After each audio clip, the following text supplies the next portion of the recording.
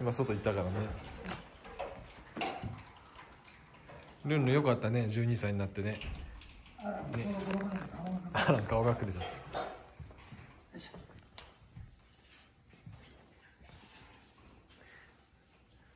ベルそっちの長い長い方に座ればちょうどいいね。ベルちゃんここになさいそこに行きなさい。ほらベルのお隣よ。はいよ。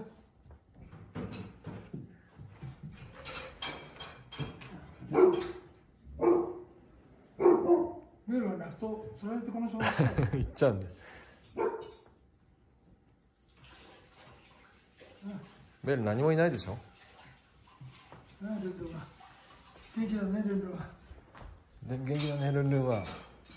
元気だね。まだ走ってるもんね。走ってきたね。ね。走ってるもんねルンルンね。ワンチ走ってるもんね。疲れたおうおうおおすごい声だなうなんだよベルは。すごい。な まさか若いから声が大きいや。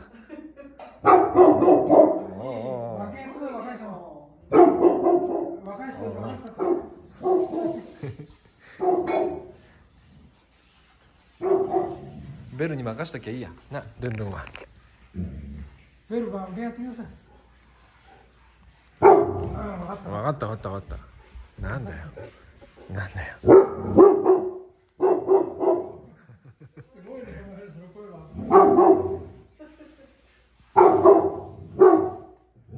なんか来たか？なんか来てるの？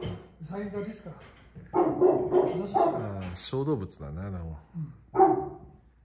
リスがちょろちょろしてるそうそうあの上の方向かって吠えてるからリスがいるのかもしんない。ルンルンよかったね12歳になって。ね。よかったね健康で。まだまだ元気だよねルンルン明日じゃあ散歩休みで朝は。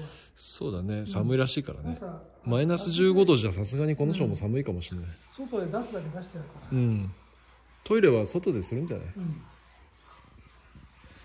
明日お散歩休みルンルン明日寒いから。日が出てからお父さんも連れてくからね。明日お休み。昼間一頭ずつ雪がゆっくりね凍ってるからね。あい一頭ずつの方がいいわ。3頭じゃちょっとあれだから。2頭でも危ねえやね。